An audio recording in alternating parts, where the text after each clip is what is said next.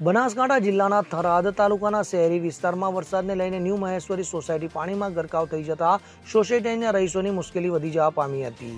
છેલ્લા બે દિવસમાં બનાસકાંઠા જિલ્લાના વિવિધ તાલુકાઓમાં વરસાદ વરસી રહ્યો છે. ત્યારે આજરોજ વહેલી સવારથી જ જિલ્લાના થરાદ તાલુકામાં પણ ધોધમાર વરસાદ વરસ્યો હતો અને જેને લઈ અનેક રસ્તાઓ પાણીમાં ગરકાવ થઈ જવા પામ્યા હતા. રસ્તાઓની સાથે સાથે તાલુકામાં આવેલ ન્યૂ મહેશ્વરી સોસાયટીમાં પણ પાણી ઘૂસી જતા ત્રણ ફૂટ જેટલા પાણી સોસાયટીમાં ભરાઈ જવા પામ્યા હતા.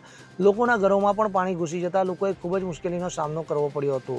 ત્યારે લોકો દ્વારા તંત્ર સમક્ષ આ પાણીનો યોગ્ય નિકાલ કરવામાં આવે અને ફરીવાર પાણી ન ભરાય તેવું આયોજન કરવામાં આવે તેવી માંગ કરવામાં આવી હતી. બનાસકાંઠા જિલ્લાના વિવિધ તાલુકામાં સતત બે દિવસથી વરસાદ વરસી રહ્યો છે. વરસી રહેલા વરસાદને કારણે ઠેર ઠેર પાણી ભરાઈ જવા પામ્યા છે. અમારી ટીમ અત્યારે પહોંચી છે બનાસકાંઠા જિલ્લાના થરાદના શહેરી વિસ્તારમાં. આ છે થરાદની મહેશ્વરી સોસાયટી કે જ્યાં ઘૂંટણસમાં પાણી ભરાઈ જવા પામ્યા છે. લોકોના ઘરમાં પાણી ઘૂસી ગયા છે. લોકોનું જીવન ક્યાંક ને ક્યાંક અસ્તવ્યસ્ત બની ગયું છે. તેવું કહીએ તો પણ તે વાતને નકારી શકાતી નથી.